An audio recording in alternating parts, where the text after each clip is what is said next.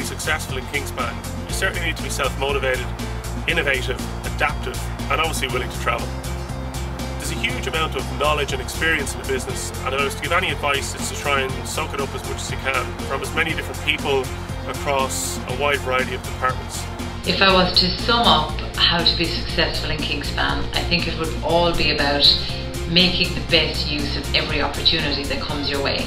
And that's in every situation, be it a large project that you're involved in from maybe developing a new app to a new product launch to the opportunity that you get to speak at meetings, to be part of a team undergoing a new initiative, always remember that it, there is an opportunity in front of you to avail of. There are several different examples of where I believe I've been very successful so far in my career with Kingspan. Uh, most notably was the five years that I spent in North America there I got a chance to grow both personally and professionally. From a personal note, I got to experience new cultures, new people, make lots of friends, travel all over North America, while at the same time developing my career within the group. To be successful in Kingspan, you have to be committed and show that you can add value to the business. Graduates get the opportunity early on in their careers to work on both individual and team projects that can make a real difference.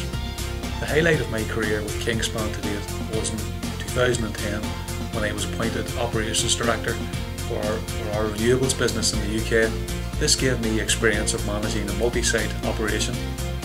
I was responsible for 220 employees across six manufacturing sites. My greatest achievement working for Kingspan has been moving to Australia for four months to help with the rebranding of a recently acquired company there the opportunity to get to work with different style of management, a different company in a different social and economic environment was definitely an invaluable experience.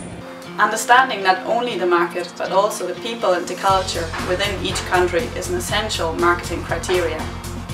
A major achievement in the last year has been the strengthening of our position in Europe it's all about getting the right message out there, so you need to tell the Germans how efficient our product is, the Polish people how affordable it is, and the French people how elegant it is. My greatest achievement is uh, certainly coming out here three and a half years ago to the US after spending four years in the UK and Ireland and, and setting up our environmental and solar office here in, in the US.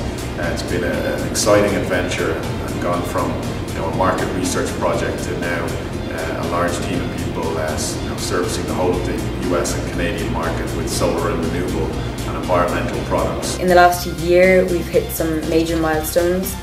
Um, the first would have been our presence at Batimat, which is a major European exhibition in Paris uh, at the end of last year. And also then launching our new showroom and offices in Paris. My greatest achievement was becoming regional sales and engineering manager for the west coast of America.